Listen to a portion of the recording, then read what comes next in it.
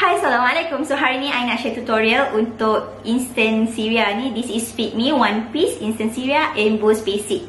Macam nama dia. Daripada Melody Couture. So tudung ni ironless And then dia tak mudah shrink Bila kita basuh And then dia kemas Tudung ni sebenarnya one piece tau Walaupun kita pakai nampak macam two piece. So kelebihan dia bila dia one piece First sekali sebab tudung anak tudung takkan hilang. Bila basuh tu dia takkan ke mana. Memang dia akan stay in place and kita pun tak serabut nak cari.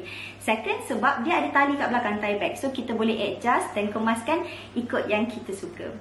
Material Moscrete yang ini corak dia daun-daun. So I nak tunjuk cara-cara nak pakai